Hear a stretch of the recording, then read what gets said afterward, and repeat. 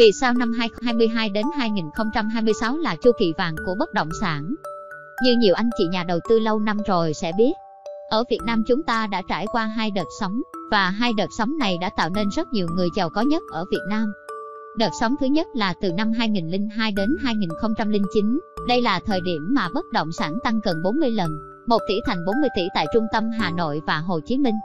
Dễ nhận thấy thời điểm đó là thời kỳ mà Hà Đông sát nhập vào Hà Nội. Đợt sóng thứ hai là từ năm 2014 đến 2019 đã tạo nên một cơn sốt tiếp theo. Khi tiền bất động sản đổ vào bất động sản nghỉ dưỡng, đặc biệt là các vùng biển như Đà Nẵng, Nha Trang, Phú Quốc và các tỉnh miền Trung tăng đột xuất. Và đợt sóng, chu kỳ thứ ba chính là giai đoạn từ năm 2022 đến 2026, mỏ vàng thứ ba. Đây chính là giai đoạn với sự cộng hưởng của nền kinh tế, lãi suất, thị trường. Đây chính là thời điểm mà bạn có thể mua bất động sản với giá tốt nhất giúp bạn đi nhanh hơn rất nhiều so với cách đây vài năm.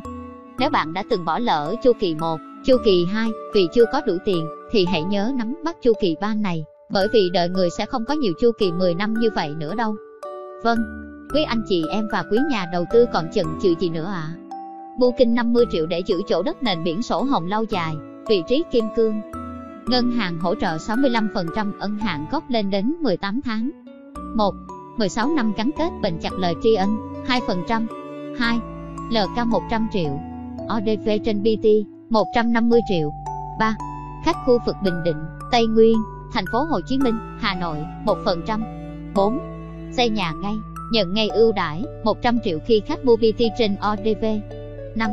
Khách hàng mua sỉ chiết khấu từ 1 đến 4%. 6. Hỗ trợ vé máy bay khứ hồi khi khách tham quan dự án. Mọi thông tin chi tiết xin vui lòng liên hệ. Em phát số điện thoại 0969148525.